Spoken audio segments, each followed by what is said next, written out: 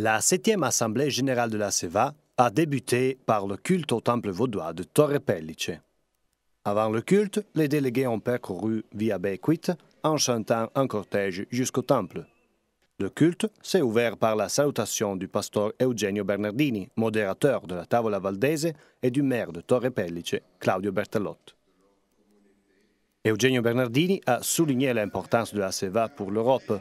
Nous nous confrontons à une époque caractérisée par une explosion d'égoïsme nationaliste aussi dans le vieux continent. Dans ce sens, le travail de la CEVA représente un modèle positif de participation et de partage, quelque chose de précieux que, pour Bernardini, doit être renforcé et nourri. Les salutations du maire de Torre Pellice ont suivi celles du modérateur Bernardini. Nous croyons, a-t-il affirmé, que l'engagement des habitants et donc des croyants est l'élément principal pour maintenir une communauté vivante. Les lectures bibliques du culte ont été prises dans le livre de Juges au chapitre 6, les versets de 11 à 16, la vocation de Gédéon, et de la deuxième lettre aux Corinthiens, au chapitre 12, les versets de 7 à 10, la force de Dieu dans la faiblesse humaine.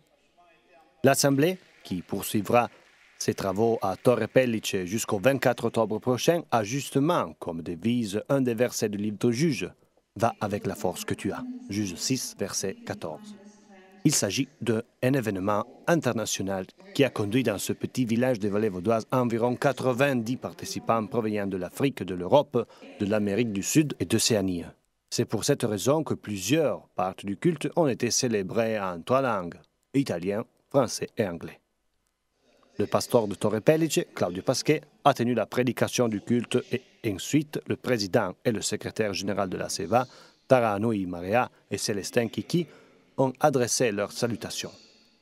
Tara Nui Marea, président sortant de la SEVA, a remercié pour l'accueil organisé par le comité italien à Torre Pellice. Pour nous, il a insisté, c'est une grande joie. Marea a rappelé que l'Assemblée se déroule à Torre Pellice, un important lieu de protestantisme italien, un symbole qui invite à entrer au cœur de réflexions utiles pour l'Assemblée générale. Célestin Kiki a rappelé que la SEVA est une union de 37 églises de 24 pays et de 4 continents. La présidence de la SEVA a ensuite offert à l'église vaudoise, qui accueille l'Assemblée, une affiche en étoffe avec le logo de la 7e Assemblée générale de la SEVA, fait à main par un artisan.